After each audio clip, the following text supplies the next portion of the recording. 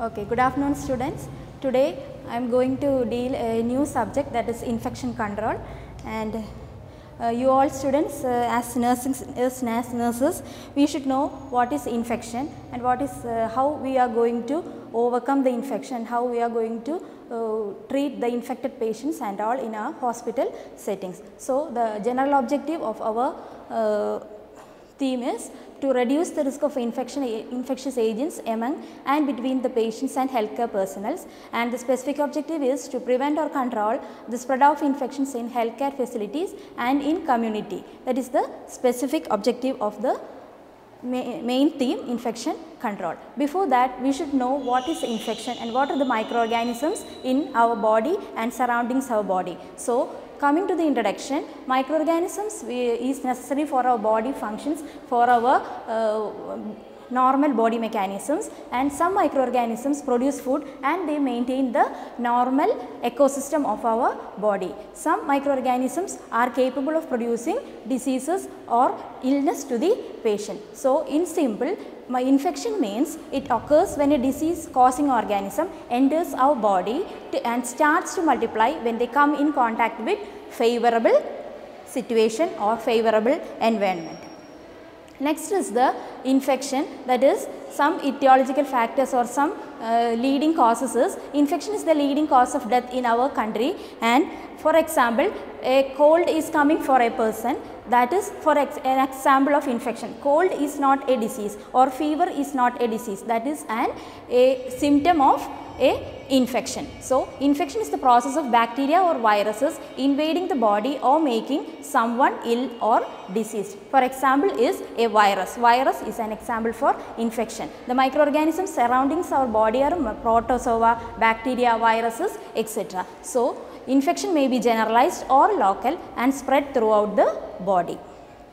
So, next uh, before starting the topic, uh, we should know some key words that are infection. That means it is the lodgement or multiplication, lodgement or multiplication of microorganisms in the body. Next term is asepsis. It is the freedom of infection or prevention of contact with microbes and cross infection or in other words we can tell it as hospital acquired infection or nosocomial infection. In hospital setup we will tell it as nosocomial infection that means it is a transfer of new infection from another host or external environment. That means when we are admitting in a hospital for some infection for some infection uh, that patient is getting another infection other than this type of infection that is called hospital acquired infection or nosocomial infection. Next we will move on to a new topic that is chain of infection. That means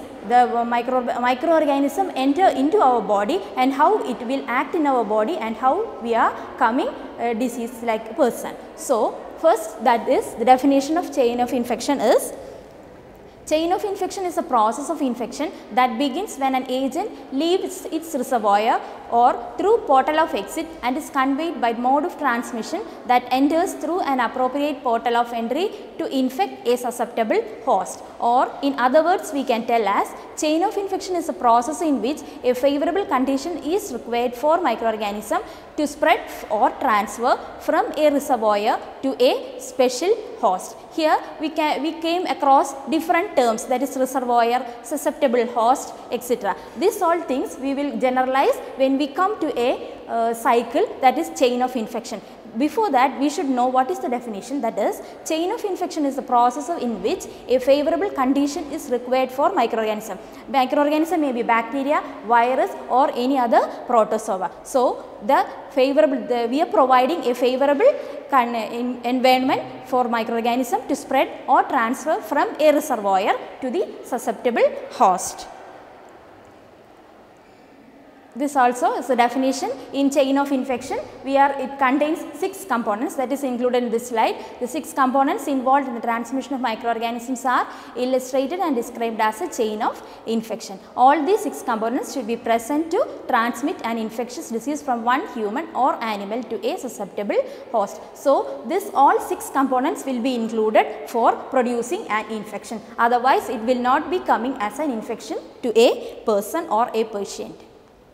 Next, this is the chain of infection that is in a diagrammatic way that is the chain of infection. The first one is causative agent that is causative agent it includes some microorganisms like bacteria, virus, fungi and protozoa that the microorganism which is capable of causing disease. Next one is the reservoir. The second component in the chain of infection is reservoir that is environment, humans and animals. It can be environment, humans and animals. And the third one is the uh, third component in the chain of infection is portal of that is excretions, secretions, skin and droplets of a person. And the next component is mode of transmission that is direct contact, indirect contact. It can be hands, droplets or any food items. And the next one is portal of entry that is the fifth point of the chain of infection or component of chain of infection that is the portal of entry. It can be through respiratory tract, gastrointestinal tract, broken skin and genitourinary tract. And the last component in the chain of infection that is susceptible host that means the, to overcome the normal defenses, invasive devices and immunocompromised compromised host. These are some of the components in the chain of infection. Once again I will tell that is the first component of the chain of infection is causative agent. It includes microorganisms like bacteria, virus, fungi and protozoa and the microorganisms which are capable of causing disease. That is the examples are microorganisms examples are bacteria, virus and fungi. And the reservoir, the reservoir that means this microorganism how it will transfer from microorganism enter into the body. That is through environment, humans and through animals. And the portal of exit that is through the way the uh, how they will enter into the body. That is the way of the way. That is portal of exit that is excretion, secretion, skin and droplet and mode of transmission through direct and indirect that means through droplets, hands etc. and portal of entry is through different tracts like respiratory tract, genitourinary tract, gastrointestinal tract etc. and through broken skin also. And susceptible host is the overcome how we will overcome the normal defenses, invasive devices and immunocompromised host. This is the 6 vital components in the chain of infection. So, first one is the, we can detail see well, first one is the that is the causative agent. Causative agent as I have to uh, already told causative agents means that microorganisms which are capable of producing diseases like bacteria, virus, fungi and protozoa. So, the causative agent for infection is any microorganism capable of producing diseases or microorganism responsible for infectious diseases include bacteria, virus, fungi and protozoa. This is called simply causative agent. And the next sometimes microorganisms are part of patients own body, flora etc. Some uh, usually in our body we are having some microorganism inside our body that is not problematic in our body. And if the microorganisms are making some problems in our body we will be having some symptoms signs and symptoms like a, uh, broken skin or redness or tenderness or uh, irritation cold cough etc these are some of the infection producing microorganisms. That is uh, Sometimes the microorganisms are part of patient's own body, flora and can cause infection in the immunocompromised host. These infections are called endogenous infection and the second type of uh, infection is exogenous infection that means infections which are acquired from the external sources. The, the infections which are coming from the external sources that is from the external environment that is called exogenous infection. So, there are two types of infections endogenous and exogenous. Endogenous means the inside our inside our body we are having some uh, mechanisms and any problem inside our body it is causing that infection and the second one is exogenous infection that is infection which are acquired from the external sources. Second component in our chain of infection is reservoir. A reservoir is the second link in the chain of infection. So, a reservoir is the place where the agent survives, grows and multiplies like in human or environment. It can be in human or it can be in environment. Also, a reservoir is the place where the agent survives, grows and multiplies. For example, Pseudomonas survive and multiply in nebulizers and the hepatitis B virus survives but does not multiply in the surface of hemodialysis machines. So, this is the second component in the chain of infection. And the third one is portal of exit. Portal of exit is the path by which an infectious agent leaves its reservoir. So, here in the microorganisms which enters in the body leaves its reservoir is called portal of exit and this portal is a site where the microorganisms grows. Here is the microorganism which is growing. Common portals of exit associated with human reservoirs include respiratory, genitourinary, gastrointestinal tract, skin, mucous membrane and placenta. These are some of the examples for portal of exit. Once more uh, the examples for portal of exits are respiratory, genitourinary, gastrointestinal tract, skin and mucous membrane and also placenta. And the fourth one is mode of transmission that is mode of transmission it includes droplets etc. So, the microorganism can be acquired by contact transmission, droplet transmission, airborne transmission, ingestion, inoculation, transplacental transmission etc. So, these are the pathways in which the mode of transmission enters. First one is contact transmission, it can be direct or indirect and droplet transmission is through inhalation through respiratory tract. Then airborne transmission, ingestion, inoculation and transplacental transmission. That means microbes may cross placenta from mother to fetus. Some microorganisms use more than one transmission route to get from the reservoir to a new host. Next fourth one is the mode of transmission uh, direct contact. How the direct contact will occur that is direct contact it refers to person to person spread of microorganism through actual physical contact through actual physical contact by giving shake hands or by kissing or hugging or giving or uh, uh, talking in between that is direct contact. That means it refers to a person to person spread of microorganism through actual physical contact and indirect contact is through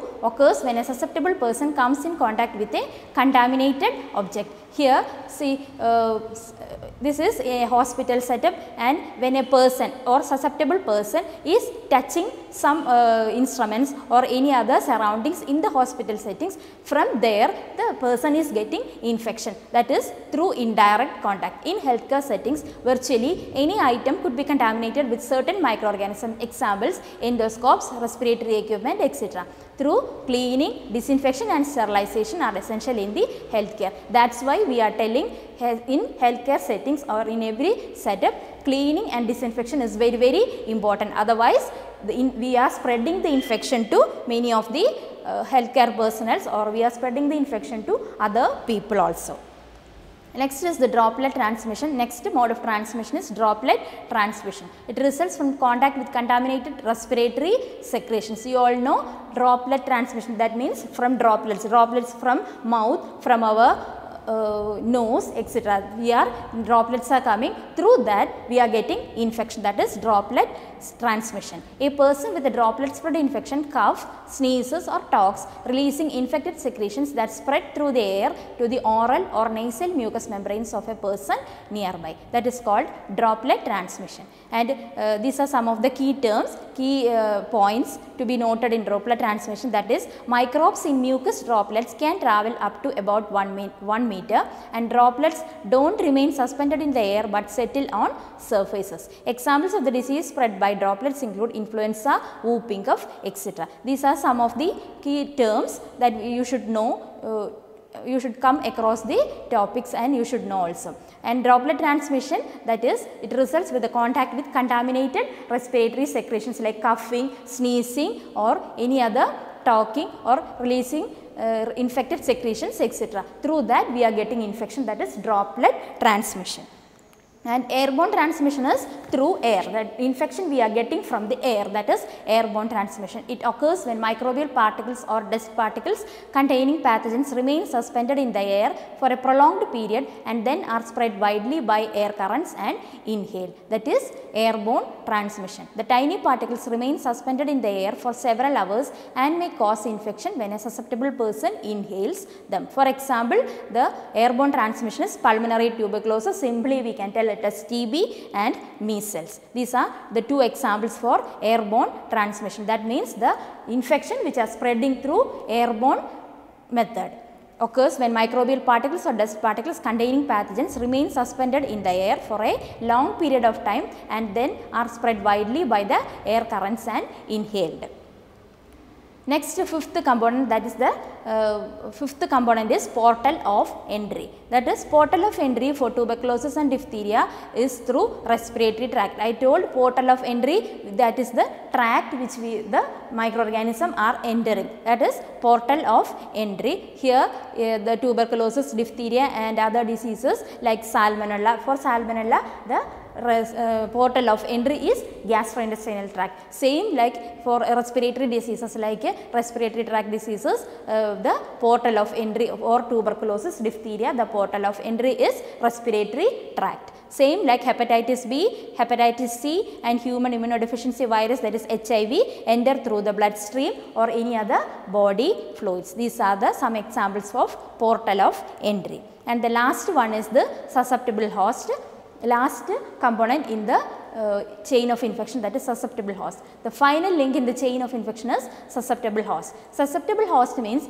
it is a person who can become infected by the infectious agent. That means the person who is getting infections infection from an infectious agent is called a susceptible host and the susceptible host may be patients, healthcare personnel, visitors from the community or any other bystanders in the hospital can be a susceptible host. So, these are the six main components we come across the in the chain of infection.